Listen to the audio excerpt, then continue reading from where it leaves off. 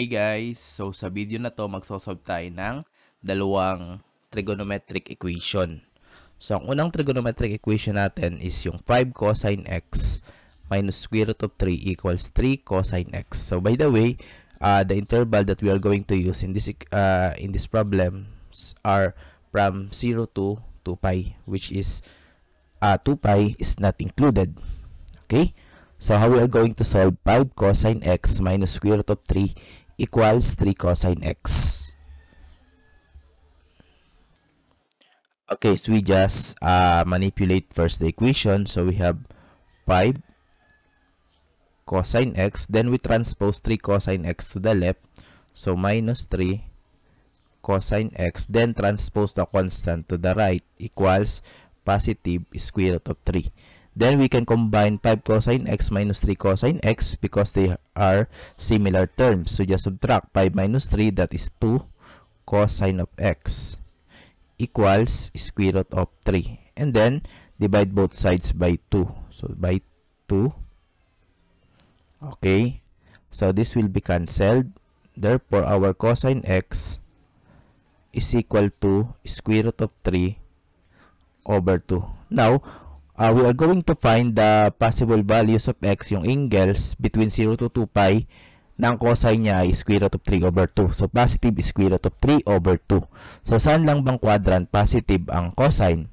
Yung x. So, sa first quadrant at sa fourth quadrant. So, let us first consider the first quadrant. Okay. So, ano ba yung angle? Na ang cosine ay square root of 3 over 2. So that will be what? 30. Because if we have 30 degrees, so the opposite of this is 1 half. So that is the sine, right? So ang partner niya yung square root of 3 over 2 which is the cosine. So ibig sabihin ng isang value ng x dito sa equation ay 30 degrees or pi over 6. So ano pa yung isa? Okay, so the other one will be in the fourth quadrant. So, hanapin natin yung angle sa fourth quadrant. Ang reference angle niya, 30. And yun yung 330 degrees. Ito yan. So, 330 degrees. So, ano yung uh, ano yung equivalent ng 330 degrees sa region? That is 11 pi over 6. Okay?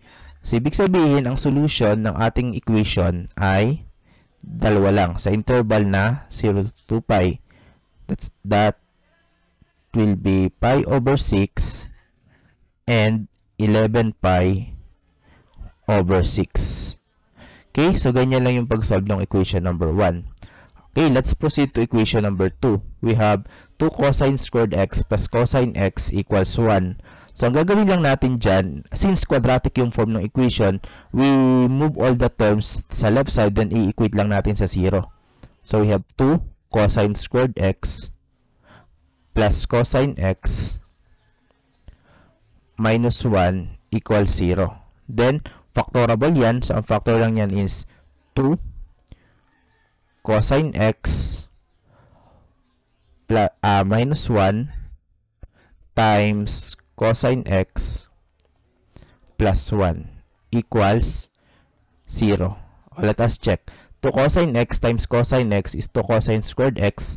Then 2 cosine x times 1 is 2 cosine x minus cosine x because negative 1 times cosine x is negative cosine. That is positive cosine x. The negative 1 times positive 1 is negative 1. Then, meron tayong 2 factors na 2 cosine x minus 1 at cosine x plus 1. So, we have to separate them to cosine x minus 1 equate to 0. Okay, and then we have solved for cosine x. That will be 2 cosine x minus 1 equals 0. So we have, oh sorry, naulit. Then transpose 1, negative 1 to the right, that is equal to positive 1. Then divide both sides by 2. So cosine x equals 1 half. Then sa other side, we have cosine x plus 1 equals 0. Therefore, we have cosine x equals negative 1. So, ayan. So, hanapin natin yung mga angles na ang value ng cosine ay 1 half at another one is negative 1. Mag-start muna tayo sa 1 half. again, nasa first quadrant ulit tayo at sa fourth quadrant kasi ang cosine ay positive. So, parang kabaligtaran lang siya nung first example. So, ano yung angle sa first quadrant? That will be, ay, okay, iayos natin. That will be 60, right? So, kasi kung 60 degrees yan, ang opposite niya is square root of 3 over 2. So, ibig sabihin, yung cosine niya, yung x, ay 1 half. So, ibig sabihin, yung isang angle natin ay uh, pi over 3. Okay? So, yung isa naman, nasa fourth quadrant. So, ano yung angle ng reference angle ay 60 degrees sa fourth quadrant. So, that is uh, 300 degrees. Okay? 300 degrees. So, ano ba yung 300 degrees sa region. So, 300 divided by 180 times pi, that is 5 pi over 3. Right? Kasi, oh, kung i-convert lang naman natin, di ba, 300 over 180 pi. So, cancel natin yung 0. 30 over 18, ang divisor niyan ay 6. So, 30 divided 6 is 5 times pi. Then, 1, uh, 18 divided 6 is 3. So, 5 pi over 3. So, sa cosine x equals 1 half, may dalawa tayo na pi over 3 at 5 pi over 3. So, dun tayo sa pangalawa, cosine x is negative 1. So, kapag ang value ng uh, circular function ay, ay 1, 0, or negative 1, so quadrantal yan. So, kapag quadrantal angle, so hanapin lang natin saan yung negative 1 cosine. So, di ba dito siya? Kasi itong angle na to, ang angle na to is what?